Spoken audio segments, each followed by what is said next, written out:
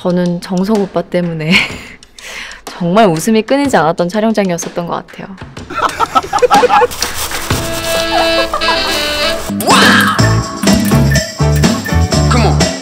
정말 배려심도 깊으시고 최고의 파트너이지 않았나. 너무 좋았어요. 저 영화를 보시면 아마 임윤아 씨의 또 아주 새로운 연기 보실 수 있을 것 같아요.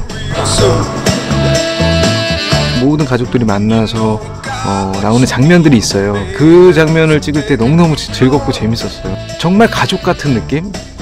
또 한 번 다른 작품에서도 만나 뵙고 싶은 분들과 함께해서 너무너무 좋았어요.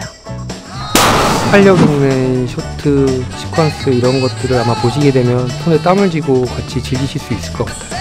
눈물, 콧물, 짠내 다 느낄 수 있는 영화이기 때문에 어, 남녀노소 모두 함께 모여서 보실 수 있는 영화입니다. 기존에 볼 수 없었던 아주 독특하고 유쾌한 재난 액션 영화입니다.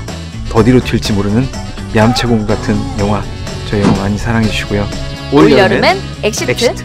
추천, 추천, 추천, 추천. 추천.